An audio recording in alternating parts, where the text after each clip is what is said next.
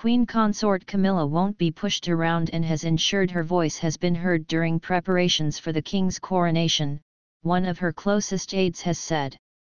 Fiona, Marchioness of Lansdowne, who is an official companion of the former Duchess of Cornwall and godmother of her daughter Laura Lopes, has emphasized the inner grit of the Queen consort, who has overcame a number of controversies in recent years. Speaking publicly about Camilla for the first time, Lady Lansdowne told the Sunday Times, she's not going to be pushed about. She won't have a hissy fit, but she'll say, no, I want it done this way. It's an incredibly important date for both of them, she needs to know her part.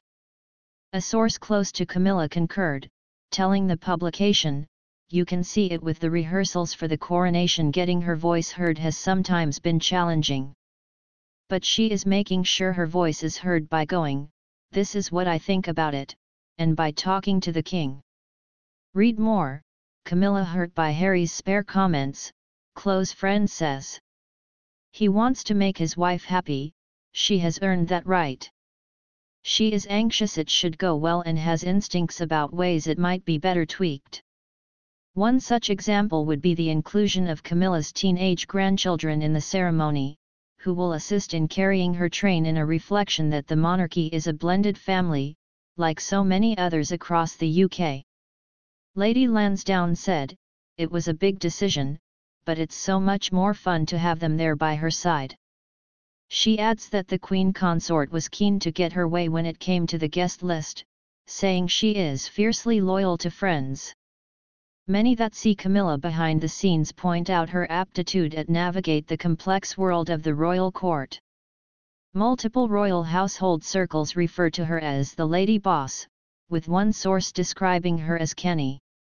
However, her stepson Prince Harry has not been too kind to the Queen consort in his memoir, Spare, accusing her of leaking stories to the media to improve her public image. I have complex feeling about gaining a step-parent who I thought had recently sacrificed me on her person PR altar, he wrote.